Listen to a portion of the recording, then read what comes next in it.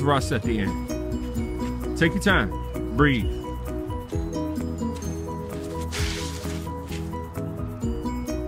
One more time. Come on. You know when you have, you know, you, you, you did it right four times in a row. So I don't know what's going on with you. You're thinking about it too much. It don't matter what weapon you put in your hand. All long as you understand how to use that weapon, how it's a one-sided blade, two-sided blade, it's a thin blade, it's a thick blade, it's a hacking, it's a position, is, is it actually cutting or cudgeling? It could be a you could do that with a staff. You do that same motion with a staff, but it's a blunt weapon. So you decide what you want to do with, with that particular weapon. Like you decide what you do with your body motion.